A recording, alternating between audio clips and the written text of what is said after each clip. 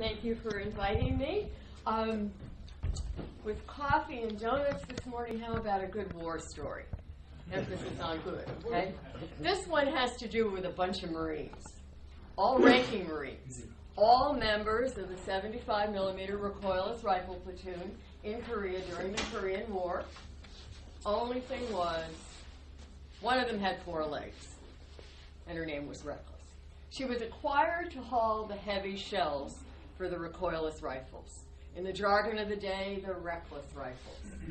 Fired by the guys called themselves the Reckless Rifle Boys. So it's easy to see where she got her name. What she did for these guys, and in time so brilliantly, had everything to do with how the Korean War changed. And the Korean War changed dramatically. About one year into the war, and unfortunately it would turn out to be only a third of the way through, everything about it changed where it was fought, how it was fought, distribution of the troops, rules of engagement, all of that changed. And that's what, in time, paved the way for her story. So, if you will indulge me a little bit of time for some history, I think to understand the lead up to the war and the early going is going to give you a better context to understand her story and why she became so important to these guys, indeed, why she was so cherished. However, a bit of a side note first. Reckless was always called a horse. She was a horse, she was a war horse. Guy said she could be quite the mare when she wanted to be. I drive some horse people here, you would know what that's all about. Anyone would, really. The fact of the matter is, she was a very small pony. She was 11 hands, 1 inch. That's small for a pony. Ponies go up to 14, 2. Um, a hand is an equine measurement. In the old days, it's four inches. In the old days, they literally went up the side of a horse like this. So 11 hands, 1 inch, 11 times 4, 44 plus 1, 45 inches to the withers. The withers is the inside elbow, where the neck and the back meet. There's a, a hump of bone there. That's the withers. I'm 5 foot 3. I put the top of her back about here. Could just lean myself over her, right? So now I'm going to amend what I said. Not so much small as as low down, okay? She had a butt on her would have made a quarter horse proud. She had a good, strong, broad back, well muscled shoulders, good, strong neck, but indeed she was low down. So I tell you all of this, okay? Remember, she was small. I talked to more than 60 guys that knew her in Korea, they like to say served with her. And thereafter, I never heard anyone say pony. Not one. A couple of them said to me in really hushed tones, they said, she was very small. She was very small. But she was their horse. She was their war horse. Mostly they just yelled, hey, reckless. So I honor that. And, and you Marines, war pony, a little bit wussy, right? You know? doesn't quite work. Okay, so for some history, Korean War started at the end of June 1950. It was a civil war. North Korea invaded South Korea. Simple as that. Several points of invasion along the divide between the Koreas, 155 miles from the Sea of Japan in the east to the Yellow Sea in the west. Strongest invasion north of Seoul, which then, as now, the capital, so that was sort of appropriate. And in the early going, advantage North Korea. They just pushed down the peninsula. Found very little resistance. South Korean troops, just no match. Stood their ground and got pummeled, deserted. Some of them joined North Korea. And it wasn't until a, a short five weeks into the war, early August 1950, in the area of Pusan, and that's a major port down in the south and getting pretty close to the Korea Strait. I mean, that's far down. By that time, we had brought in enough troops from Japan and Okinawa our good friends, the Brits, had come in with some troops, and in that area, by virtue of, by virtue of ringing the city with, um, it was called the Pusan perimeter, kind of a firewall, we were able to stop the forward momentum. We did not turn this war around, no way, but we just sort of put the brakes on for a bit, built in a pause, if you will, and that was that. Reason North Korea so much to the advantage actually goes back to the closing days of World War II. We knew, we knew Japan was going to be defeated. We knew before we knew where and when, but we knew it was coming. And what the Allies realized as they, as they were aware of that is that the country of Korea, in those days, still one country, the whole peninsula was Korea, Korea was going to regain its independence, become independent again. It had been occupied by Japan for 35 years.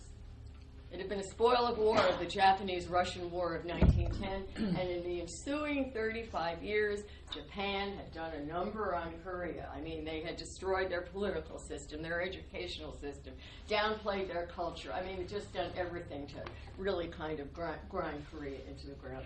So, what we realized is that this country, this country was going to become independent but without any political structure to guide it. There was no president, there was no National Assembly, no constitution.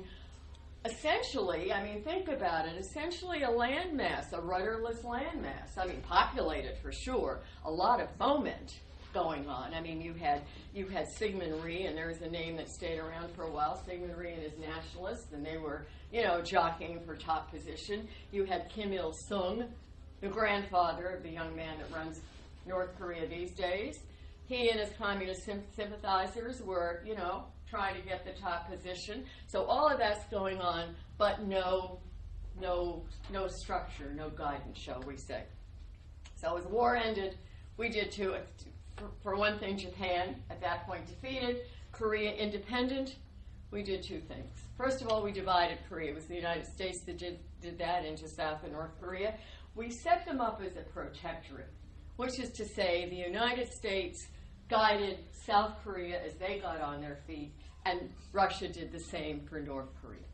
Supposedly a five year arrangement, but by 1948, three years into it, South Korea felt themselves good to go. They had elected Syngman Rhee as their president, they had a National Assembly, they had a constitution. I'm sure with a lot of grand language, basically they said, you know, thank you, and off you go. And as we exited South Korea, Truman asked the, the United Nations, at that point a fledgling, three year old United Nations, just imagine, if going forward there were any problems with South Korea, would they address them? They said yes. And that's what set up when war broke out that it be a United Nations undertaking, when war broke out two years later. Um, we left some army in country, less than a brigade, sort of helpmate peacekeepers, whatever. Uh, we left what material was in country. We did nothing more than that. In the north, it was quite different. Russia stayed on, they didn't leave. Russia trained North Korean troops. Russia moved in materiel, and that's what set up North Korea to be so much to the advantage and, and invade South Korea two years later. However, important to remember this was going to be a short war. I'm sure a lot of you do remember. I mean, this was going to be a matter of months we were going to go in. We were going to push North Korea back over the line and get out. Initially, Truman hoped he wouldn't even need boots on the ground. He thought maybe naval blockade and air support would do it. That didn't, didn't work. But I mean, again, you know, quick in and out. Word on the street, boys were going to be home at Christmas time. He asked General Douglas MacArthur to command United Nations forces. MacArthur at the time was Supreme Allied Commander in the Far East in charge of the occupation of Japan. Of course, the, the, the general said yes. You know, he's on the same page too. I mean, this is going to be fast. He designed something called the Incheon invasion. Incheon is the port for Seoul. It's about 30 miles to the west. and what he did is he brought our Marines in through the port, hooked them up with our army coming across the Kimpo Peninsula, which is the landmass that hooks Incheon and Seoul. They re entered Seoul. It was a tough battle, but they retook the capital, returned it to South Korea in a formal ceremony. In the process, broke the backs of the North Korean supply lines, sent their troops into disarray.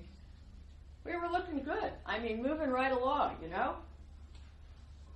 In the, uh, there was a little problem in the north, said the general. It was vague, but our troops were going to go in and take care of it. Just a few weeks, and they'd be back out. No need for winter clothing. They weren't going to be there that long general is quoted as saying the chinos will be just fine. In the United Nations, in the Security Council, Communist China said, don't do it. If you invade our neighbor, we will come in in their defense. And we ignored them. And they said it more than once, and we ignored them more than once, and we sent our Marines around to Wonsan. Wonsan is a port on the east coast of North Korea. Marines landed there, headed north by west toward something called the Chosin Reservoir, body of water about the size of Lake Tahoe, soon to be called frozen Chosin. Our army went up through the center of the country. They were heading north by east. Their intel told them they were going to get cut off, and they pulled out. And most of them got out in time. There were some for, for, forward observers got caught, and then the Marines went in and got them. But basically, the Army got out. The Marines not so lucky. They didn't get cut off. They got surrounded. They walked into the worst battle, one of the worst battles of their history. Goes down in their lore with Belleau Woods from World War One, Peleliu and Iwo Jima from World War Two, and now Chosin. Their casualties were terrible. And if it was any small consolation, they were worse for the enemy. And the enemy now, yep, good to their word, behind North Korea was Communist China. In numbers, we had no anticipation of, no, no concept of hordes of troops poised to hurl themselves at us. And it would be that way throughout the war. Their battles opened savagely. They sometimes fell apart for lack of organization, but the onslaughts were brutal. And some tough information came out of all of this. For one thing, this war was not going to end anytime soon. And for another, no one was going home at Christmas time that year. And indeed, the war did, did continue apace for about another six months. North Korea pushed back into South Korea, and we pushed them back over the line. But by the summer of 1951, and that was about a year from when all of this started, the peace talks opened. North Korea was pretty much shoved to the bargaining table. They dragged their feet over the next couple of years as these talks lurched on, called off for every little infraction, so they were a lot off and a little on and a lot off and a little on. But once they opened, once they opened, the rules of engagement changed and the war became a holding action. We, the Allies, holding the land that belonged to South Korea for the South Korea, according to UN rules, um, not going for any more, trying our best not to give up anything. In the in the in the north, they fought by their own rules and they scrapped for every little bit of South Korea they could get a hold of, and for all their efforts, almost nothing. At that point, it's pretty much it's pretty much felt that, albeit behind closed doors, the powers that be, the proxy powers, shall we say, the United Nations and the other UN members who had signed on on behalf of South Korea and on behalf of the enemy uh, behind North Korea, Communist China, and the more silent partner, Russia, all of them, all of us, already knew this was nobody's good idea. This war had already cost too much, and the returns weren't there. It was going to cost a whole lot more. The returns were never going to be there, and we better figure out how to get out of it. And so, with the, as I say, with the rules of engagement changed and the war becoming a holding action, what happened is the troops moved to set up along the divide between the Koreas, the Allies right up against the very top of South Korea, a no man's land in between, the enemy facing us, and now the topography of the country became a real issue for everybody. Korea is very, very mountainous. More so, the more north you go, there is a major range, the Taebaek Mountains, that runs north south along the east. Foothills are plentiful, spill all the way to the Yellow Sea. A lot of them very big. Guys would say to me over and over, you would drag your way up one of these hills. You'd finally get to the top. You'd look out, and damn, there's another hill staring you straight in the face, and it's bigger than the one you just got up. So that's the situation. And now, most of the fighting was from the elevations, from the tops of these foothills, from ridge lines that topographically were cut out a little bit down from the summit. And it meant most everything went uphill. The guys, their weapons, the rest of their, their supplies, all of that had to had to go uphill. Army Corps of Engineers did a great job of carving out mountain roads for sure, but most times there was a place they couldn't get any farther, and, and often that was the, the entrance to the, to the valleys within these foothills, where the rice paddies had been, Korea's premier crop. Uh, destroyed, blackened, you know, they're more in spirit than anything else, and they looked hard as a rock, and I'm told they stunk to high heaven, which is an aside. But the fact of the matter is, they weren't solid, and the trucks just bottomed out. So there really was a point at which it was manpower, real manpower, to get everything uphill. At the same time, because of the topography, because we were now shooting, you know, hilltop to hilltop and across wide spaces, a weapon found its calling, and that was the 75 millimeter recoilless rifle. Um, had debuted in World War II, had been used a little bit, but now it really, really found its place. And that was because it was deadly accurate at long range. And in test firings, this was up to four miles. Big bruiser of a weapon, 115 pounds, almost seven foot long, sat on the on the ridge line um, as a rifle direct sight. That meant your gunners were to either side of the of the barrel. Nobody's down in a trench anywhere. Um, but in real time, what it meant, I mean, four four miles in test firings, but in real time, say say we were taking fire you know, from a mile, a mile and a half, two miles across no man's land. You know, we're we're catching it from an enemy not somewhere in a in a, a fo- you know in a in a pillbox in a low slung building. We can't get our air we can't air, get air support over there. We can't get our machine gunners near enough or our our mortarmen, and you know we're catching it. We're catching it. Well, you'd, you'd call up the Reckless Rifle Boys. I mean, if they weren't already up on the ridge somewhere, up they'd come, and they'd like as not, they'd take, they'd take out the problem. So they were prized. But for these guys, the caveat were the shells.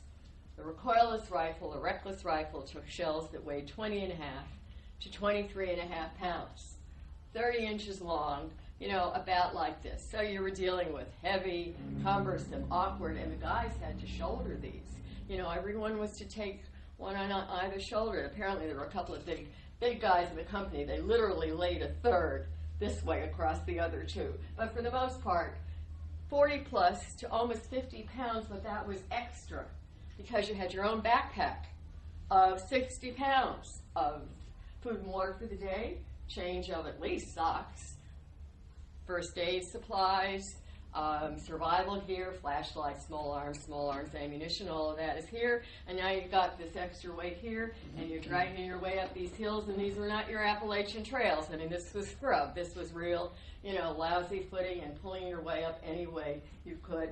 And you'd get up there and you'd unload your shells, and I hope to God you left your backpack up up there, you know, the first time up. But you went back for two more shells and two more shells and two more shells, as long as those guns guns were in play. As long as you needed them in play, they needed ammunition. No ammunition, no gun. If it was a pickup firefight, maybe not so long. If it was a planned operation, well, you knew how much ammunition was going to be used.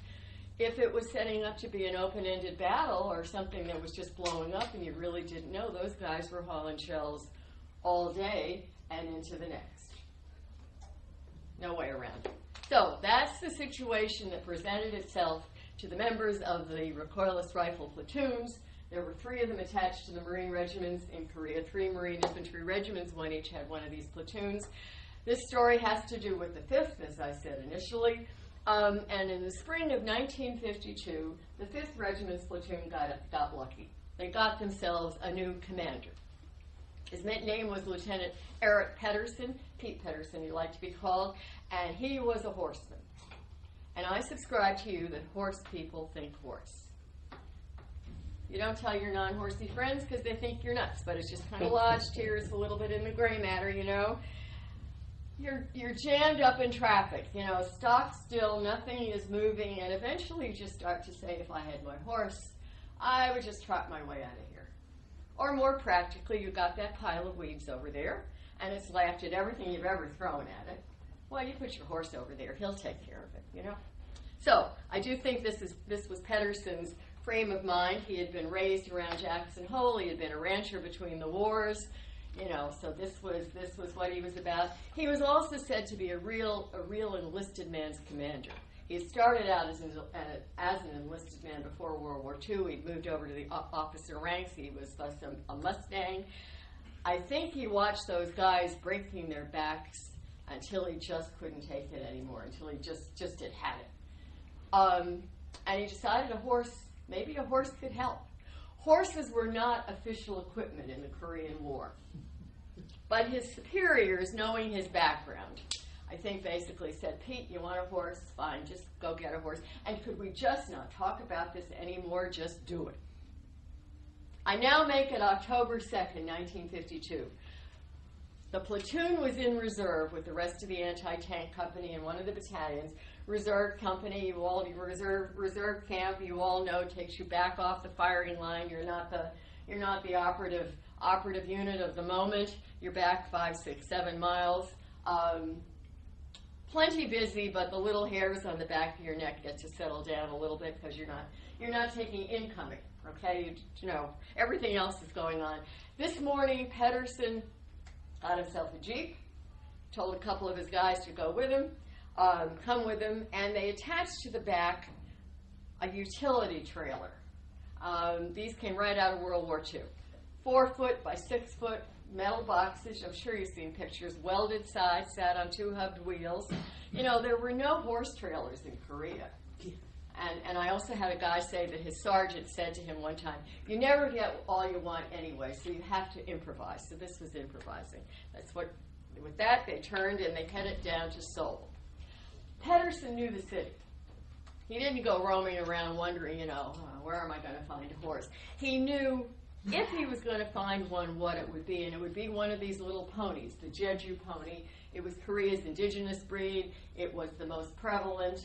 Um, it had been the back, backbone of, of, of the country for hundreds of years transportation, agriculture, a good source of protein. Um, also, their racing stock. So he knew that that's what he would likely find, and he knew if he was going to find it, where that would be. He went to where the old Seoul racetrack had been. This had been destroyed in the first go around when North Korea first invaded within a couple of days. They had turned it into a supply depot, and later on, when people went out, they found out the horses were all gone, the shed row had been destroyed, uh, safe had been looted. Seoul had been through four changes of hands. It was wrecked. But it was now back in Allied hands and had been for a while. The 8th Army went in and took over the spot. They kept the name, they called it Racetrack Field. Now said to be the busiest air hub in the Far East. One runway, incoming, outgoing all day long. I mean, that had to have been some commotion, right? Everybody jumping off for the front went through Racetrack Field. Your USO players, there were about 5,000 of them through the war. Marilyn Monroe. You've seen all the pictures, right? Her laying down on the on the floor of the helicopter. Bob Hope, all the biggies, but a whole lot more than that. Um, statesmen, couriers, the press. Eisenhower. Eisenhower, one of his his um, 1952 campaign slogans was "I will go to Korea and end the war," and and they sent him. It was a secret mission until he landed, and then he you know, he, they landed him out at out at the big airfield Kimpo out on the peninsula, brought him into Seoul, and then he too was was using racetrack field. Around the periphery, still some horse people. We think from the early time when all this was going to be over fast. Remember? Um, well, the racing authority thought so too, and they had sent down to the south for another band of horses. They owned their horses, which is just another way of running a racetrack and then everything fell apart. And we think those were some of the horses that just, you know, that's where they wound up, and some of the handlers. And it's where Pedersen found this little, little pony, this little filly, chestnut, or if you like Western terms, sorrel. At 11.1, they got her into this metal box, but they had to ride her caddy corner. That's how small the box was. They said she had a halter on. They hooked a rope from the from the, the, the throat latch to the front, and that was the extent of the tie down, and she balanced. And they turned this rig around, and they headed back for reserve camp. The Marine that remembers this procession rolling through the gate in the late afternoon said it turned the air blue with a whole lot of what the blankety blank is this blankety blank horse doing here? And this guy said to me, "We said a whole lot more than that. I just, I just can't say it to you." And I said, "Okay, I'll, I'll imagine." And it was the start of this amazing story. Pedersen stayed in the loop, but he was the commander. He had more to do than just take care of the horse. He turned Reckless's care over to his gunny sergeant, gunnery sergeant, right hand man to the commander, runs the, runs the show day to day. I think the combination of these two men was brilliant because Pedersen, a rancher, um, particular part of the sport, a little bit of money, interested in conformation and breeding. He had 250 Yankee greenbacks in his pocket to buy her, didn't have to requisition military funds. Joe Latham, so much the opposite. Poor Southern horseman. A poor Southern, I mean, he grew up working on an Aunt and Uncle's farm in the South.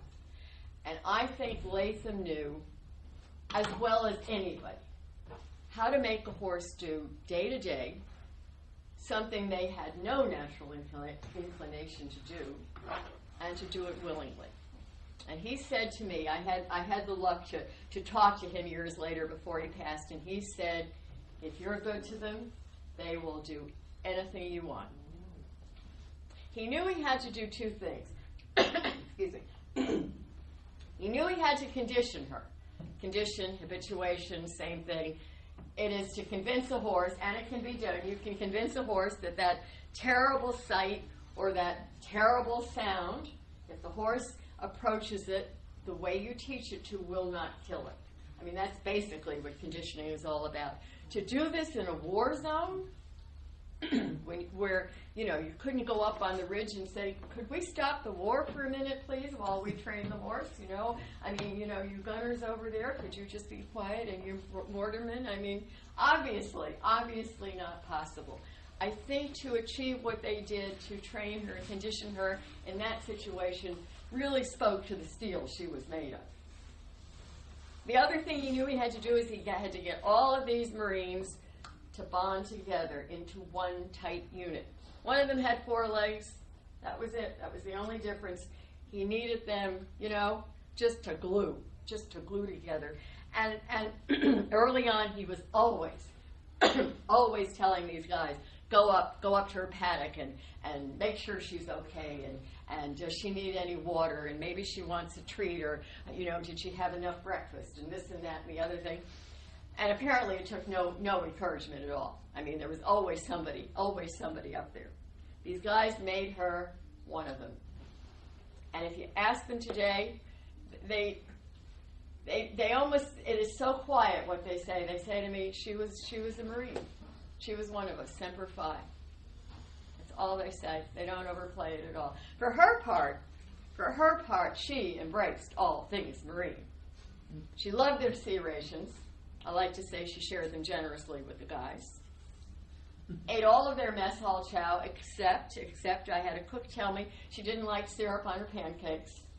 Um, drank a lot of beer, Goebel beer, brewed in Detroit. The slogan was "Brewed in Detroit for good taste." The guys said not quite. Pretty bad. She thought it was pretty good, and she drank plenty of that. She drank some whiskey, uh, an occasional mixed drink. Ate their cigarettes liked it if you would open the pack, and if you weren't quick about that, she ate them anyway. Slept in their tents when she wanted to. Remember, she was low down, especially in reserve camp, where the camps were fenced in and she had the run of the camp. You know, if on a given night she wanted, she would just glide in. They said she was a hog. She would plop down right in front of the kerosene stove. Everybody just moved over. Nobody cared. Reckless is here, just moved a little this way and that. And she ran in their bunkers. You know, when they were on the front line and they took incoming, and you all know that's over firing the lines, the yell in camp is incoming, incoming, and you run. If she was in her paddock, she had her own bunker, you know, regulation bunker, properly positioned away from the firing line. If she was out of out of the, the, the paddock with one of the guys, like as not, she would just run in, into a bunker with them. So these were regulation eight man bunkers. So it was eight men and a horse. They gave her rank. She was private first class. That came very quickly. Um, serial number was H1. I don't think there was ever an H2. They say by the new year, by the beginning of 53, she was an integral member of the platoon. It was no longer a question of, you know, should we take reckless? When these guys went out, if they went out on patrol looking for trouble, if they were called up on the ridge, they went, she went. She was also clearly on the fast track for a promotion. She made corporal in four months. what they needed done goes back to what I said initially. They needed a way to get these heavy shells uphill. And that was still at the crux of it. Before she became reckless, before this great story grew up around her, that's what they needed, and that's what they still needed.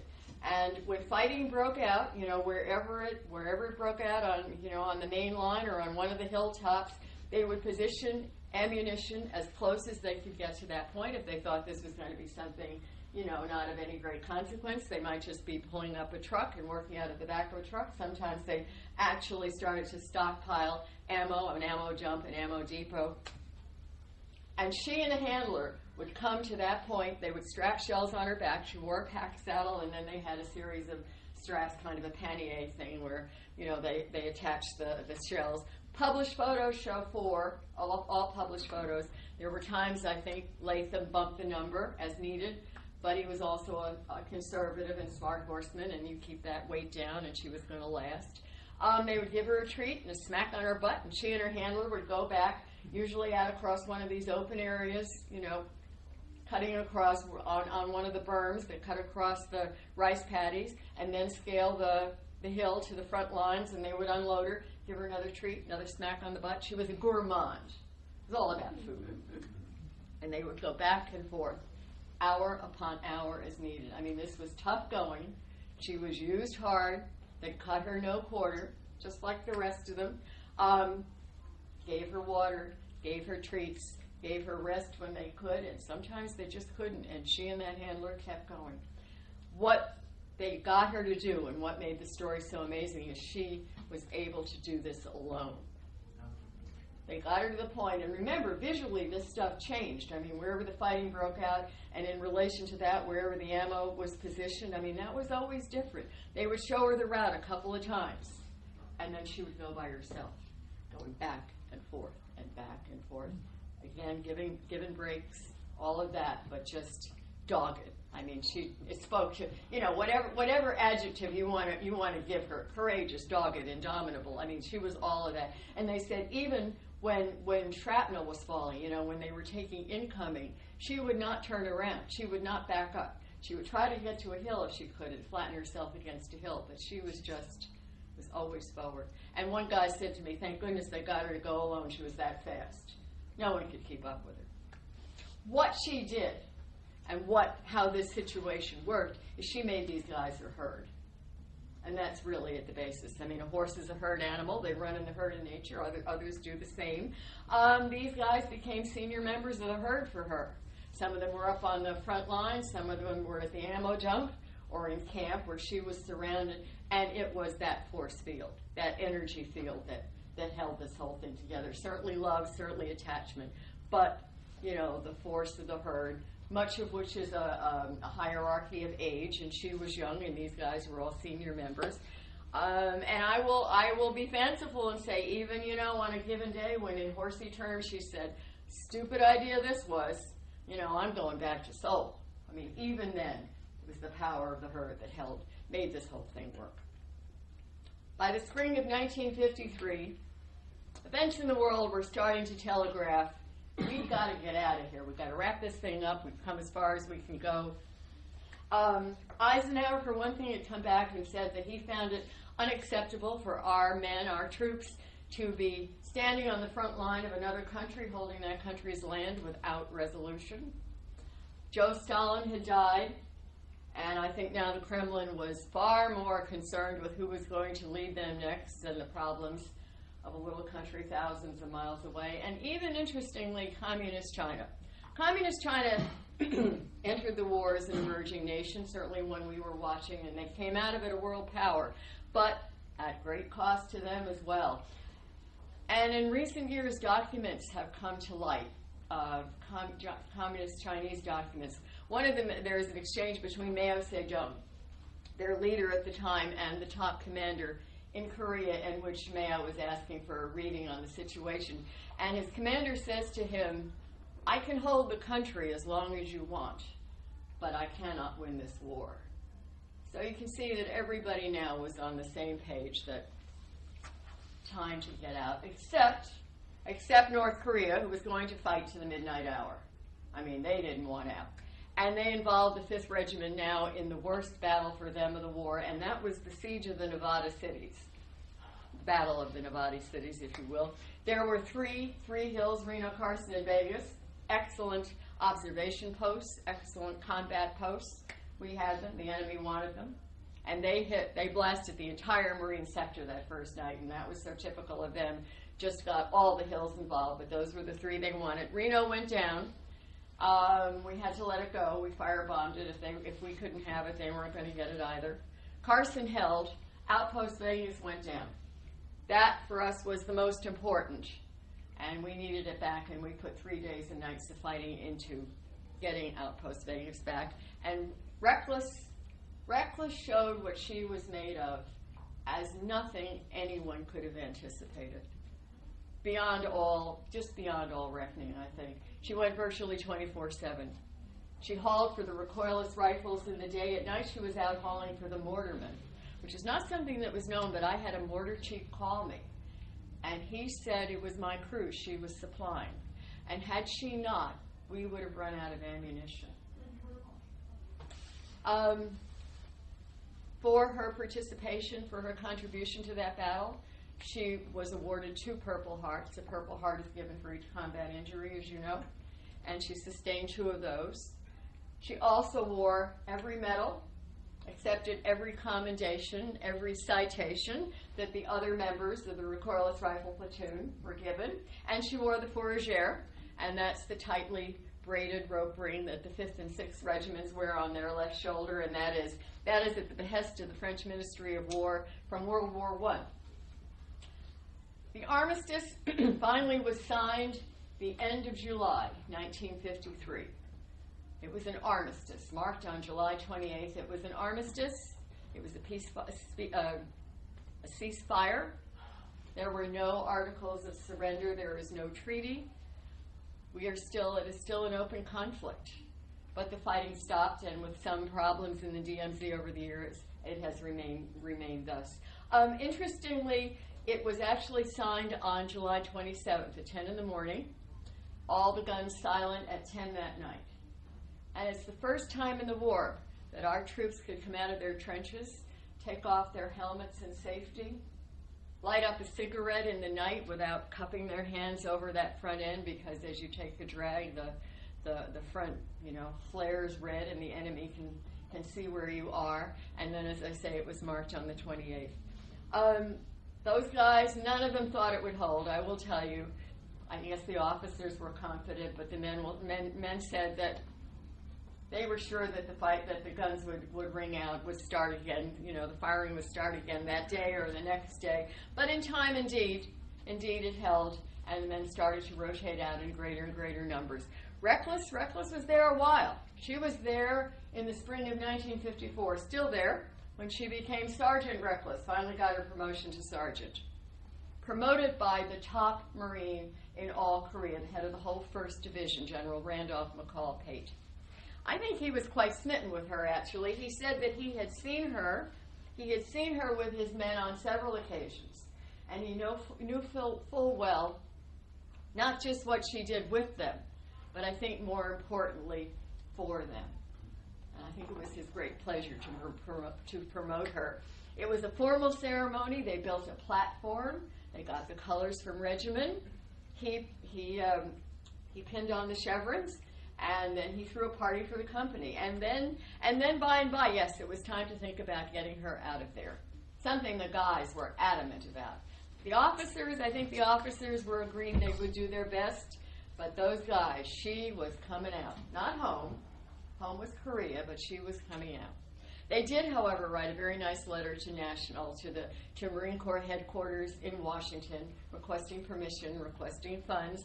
Got a very nice letter back saying no, Sorry. no money, too bad. Wily bunch they are, though.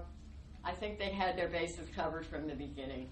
They had written, the Marines had written the Marine Air Wing law, and they had said, in the event that you were ever asked to transport a horse, this being the first time, what would you say?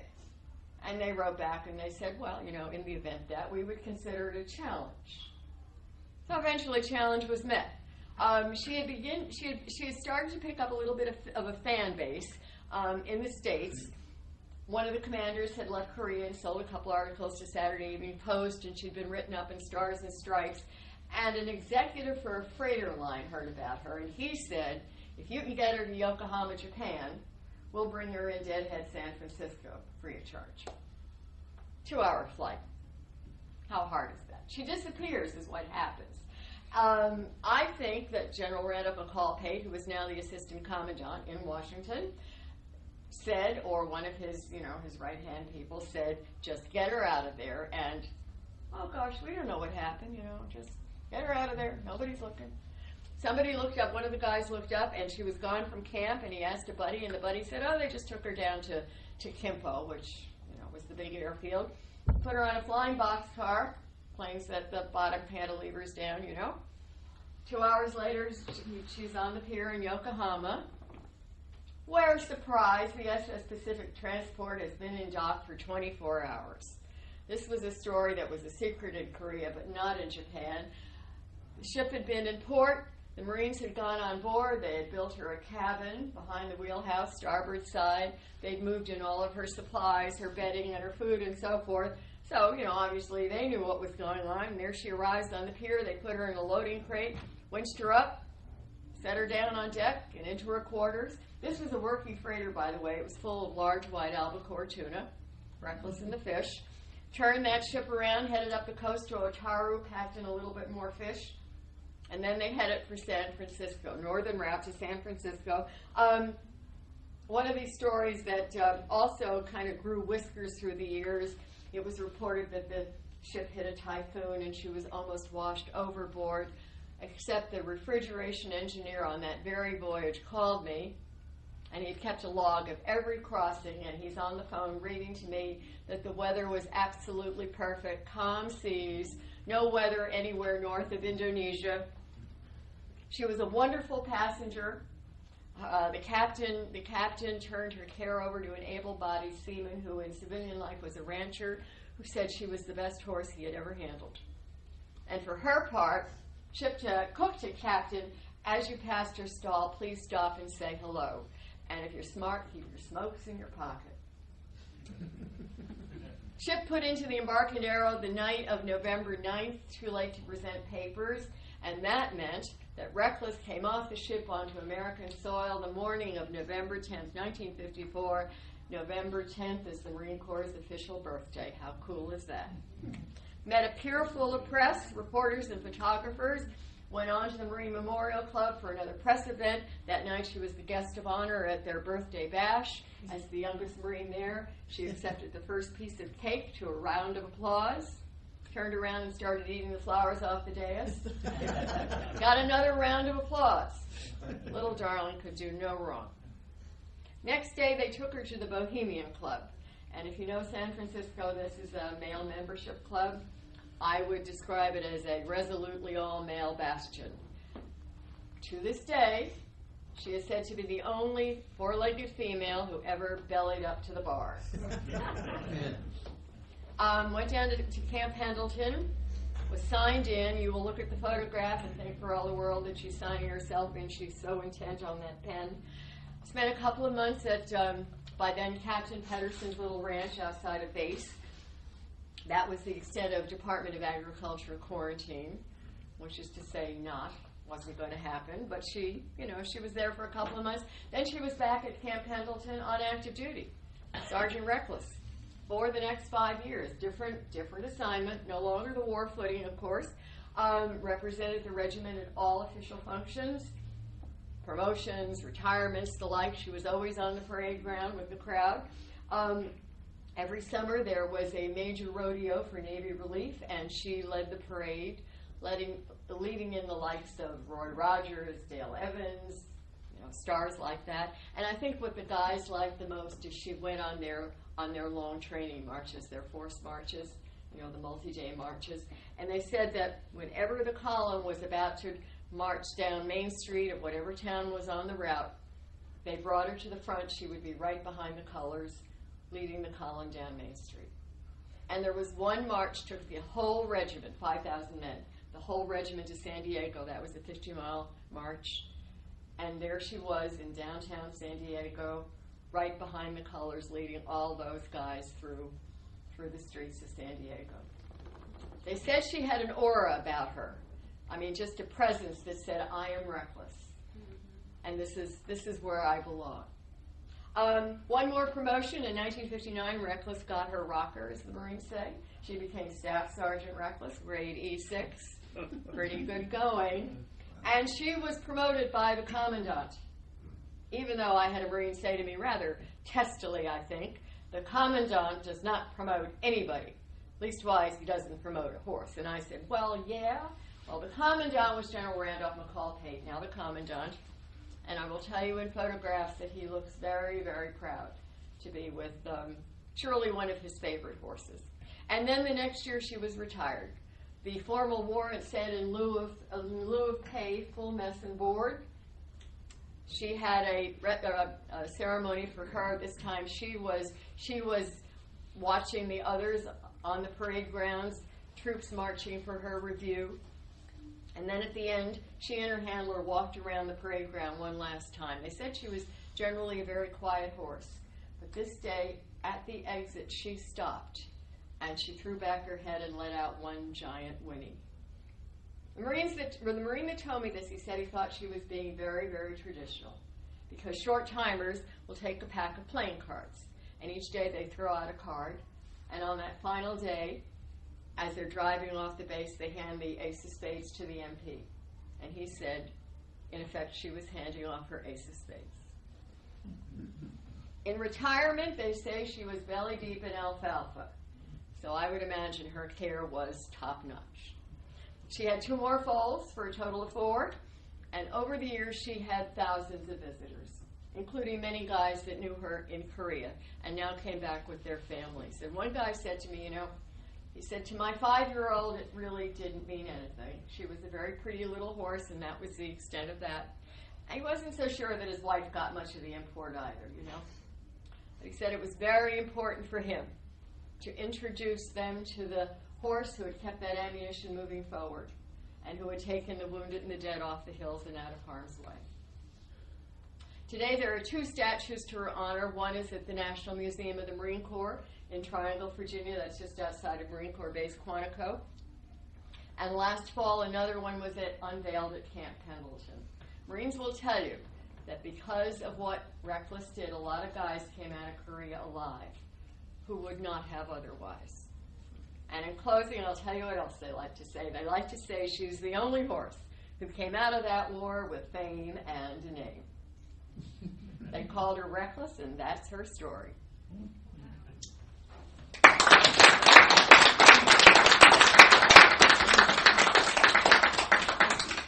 So Janet, where were you, how long ago, when you first heard of Reckless? Real truth, nothing but the truth. Yeah. I heard about her in 1992. Took me a long time, didn't it? I'm a slow writer.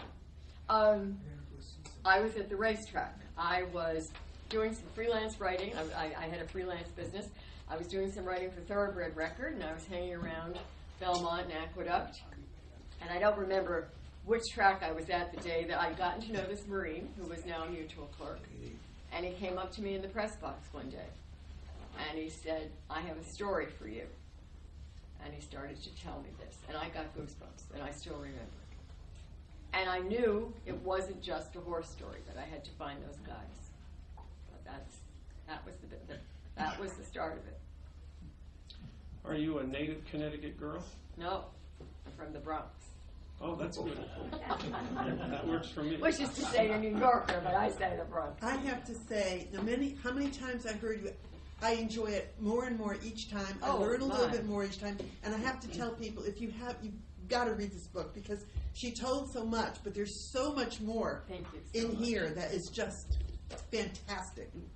Oh my. Fantastic. Will I you just come with me to every talk now? Be my sidekick? Thank you very much. Lovely. Now, I mean this with love and respect. Was, Yeah. was this your first book? No, second. Second. Second. I wrote a book called On the Fence, The Parent's Handbook of Horseback Riding to help parents survive the sport. And what I tell them is I can't save your shirt, but maybe we'll save the farm. Other questions? Oh my. when, when did Reckless pass? 68, 68. 1968. She was 19. Wow. 19. Wow. That's tremendous. So, did your research take you all over the country? Unfortunately not. Okay. I didn't have the budget. By Yeah. phone it did. Okay. Well, by phone. Okay, I should say That's yes. great. I shouldn't have. I shouldn't have even tipped my hand, right? Um, but yeah, I just you know found them, and they're and the guys were wonderful. Each one would suggest another, and then various all the different ways you just keep, you know. now, when Reckless was finally written, hmm was it hard to get it sold for a publisher to Well, I it published. I did, I'm an independent publisher. Well, okay. Um, and the reason is I was looking for a publisher, and you know that takes time. And I heard that I had two competitors coming behind me, and I thought, ah. So I jumped. The, I jumped, and I published it myself, and beat the market by eight months. So, I'm not competitive. two or- competitors on Reckless? Yeah, there are Wow. two other. There are two other books out. Wow. Yeah, I I've think never heard of good for you. I I would say that mine is the most. I mean, and I don't mean this to, to be bratty or anything. Mine is the most complete, and I, re- I, I there's an old story. There was a, there was a book written right after the Korean War by Andrew Geer, and it you know it was it picked up some some some you know readership back in the 50s.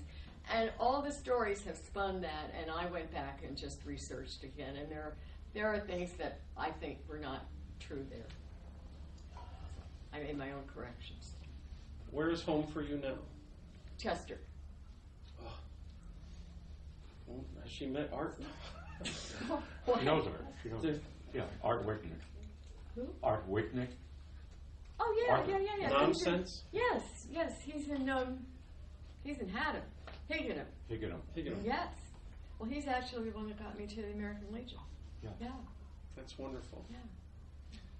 Well, can we give her another round of Yeah. applause, please? There are books here if anyone is interested. There's seventeen dollars. Gotta get that book. I'll tell you. Just a few I'm going quick, sign you up. Thank just you. a few quick announcements, uh, and then we'll close. Um, real quick, would you do me a favor? You're a guest this morning. Your first name? Kathy. Kathy and Debbie invited you? Uh, no, Pat invited me. Oh, great. Really. Is anybody here invited by Debbie? Okay, so anyway, I'm glad that you're here, and guess what? Oh, I'm sorry. Because you're here, we meet once a month on Tuesday at ten o'clock. There's always free coffee and donuts. If you ever want to join us, you're more than welcome to join. We start with the pledge. We try to listen to a guest speaker. We always close in a prayer. Hope you won't mind that. Number two, could you please give a round of applause to Bob Boucher? Um, I don't know how well you all know Bob, but I don't think there's a day I don't hear from Bob, either in an email or something.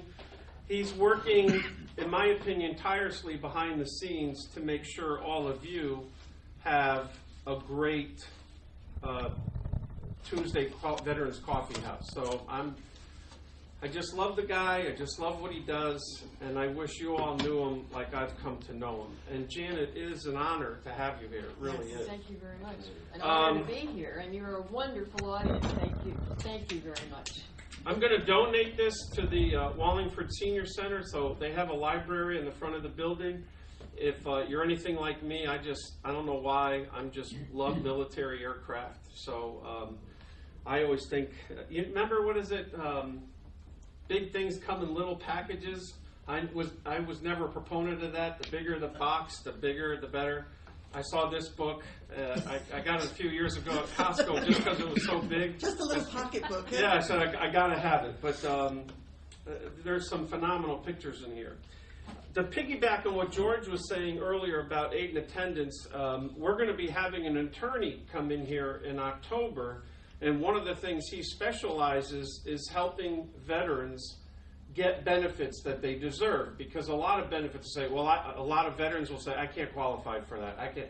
Well, this guy's going to help you qualify. And I'm asking George, I think I've mentioned this to you once before. I want George to be here kind of as our, our guard dog or um, on guard duty. So if he smells any BS from this attorney, he's going to tell us, okay? But I met this guy, he came to my office, did a presentation, and it's the first attorney I've met in a long time that I thought he, I, I, he's got the kind of bedside manner that's important to me, okay? Um, I was telling somebody the other day, uh, oh, no, I was just telling you this morning, we we were talking about uh, jewelry stores in St. Thomas. And I said, well, we've got this famous, uh, favorite jewelry store in St. Thomas. I've only been there twice.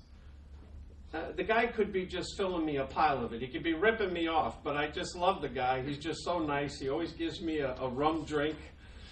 Um, so everything about the guy, I love him. So if he's ripping me off, well, he deserves it because he's so nice. And, and that's how I feel about this attorney. I, I don't want him to rip anybody off, but I like him so much. I think we can all really benefit from it. Okay. So, um, anybody have any questions about anything? Our guest speaker set, uh, next month, real quick. Yeah, that will be John, John White of Cheshire, and uh, he was a naval officer uh, in Vietnam, and uh, he's, uh, he's written books, various subjects and so forth, and he's also a literary agent uh, in his career dealing with uh, other authors and so forth. He's had published over 300 books. So he should be, an, uh, it should be an interesting uh, subject that uh, he'll be talking about in August 29th here. So this guy John said that never happened, and they tried to squash him for saying that. And a very famous admiral, what was the admiral's name? James Stockdale. Came to his defense. You're not going to want to miss. You're going to want to tell your friends. It's wicked cool, and he's such a sweetheart of a guy. Okay. Anything else? Anybody? George, thank you very much, sir. Love it when you come. Okay. I'd, I'd like to mention just one thing. See, there is one more thing. Yes, Bob. Okay, uh, Tom, am I pronouncing your last name Ol- Oliveira? Yes, sir. Okay. Tom is, is not a veteran, but he has veterans in his heart, and he's going to be video uh, taping uh, any presentations that we're going to ask him for. And I think uh, it's very gracious on his part to, to offer to help us and, and videotape and uh, have a, a library of speakers that uh, will help other coffee houses or Legion Post or whatever. Uh, on September 19th, we're, we will be starting up the uh, Veterans Coffee House in Cheshire, Connecticut. So, of course, you know, if you wish to go to the first meeting, by all means, let us know. And that's about it. I think we're all set. Well, so Thanks Tom's, again, Tommy. Tom's sitting here in bare feet, and any guy who can sit here in bare feet is my kind of guy. With regards to the Cheshire Coffee House, they contacted us, asked us if we would be willing to do the same thing there. And uh, we're going to tell you when the date is because we would like you all to try to come out that morning just to support um, Cheshire's veterans. And I'll tell you why. It, it's their senior center is not as vivacious as this one is. So if they see all of you come out, I think that ought to help them. And, and Bob and I already met this one guy who's an unbelievable uh, character. He was in Vietnam. He was a gunner, and he has got some unbelievable stories. We're trying to talk him into talking to us. Did I say that correctly? Don't listen, Janet. Um, I feel like Janet could be an English teacher I had years ago, criticizing me on every little thing that I say. But um, I just love this guy because he just tells it like it is without thinking. So he's really shy, but we're going to try to, to get him to speak for us. I think you would just adore him. Uh, would you just close your eyes for me and bow your head in prayer for me? Father God, you have continued to bless us with amazing friendships and amazing gifts. Uh, Janet's story about Reckless is just phenomenal. And just, I think about the millions of people that don't know the story, just like they don't know the story of Thomas Hudner and, and Jesse Brown. Uh, we're just so grateful to Bob for his tenacity, always trying to do what's great for this group. And we just ask, Father, that you will just um, to bless these people here today, be with them, look after them, keep them safe and healthy and happy. And we just look forward to more of these types of events coming in the future. Father God, we just thank you so much. In your Son's most precious name, amen. Amen.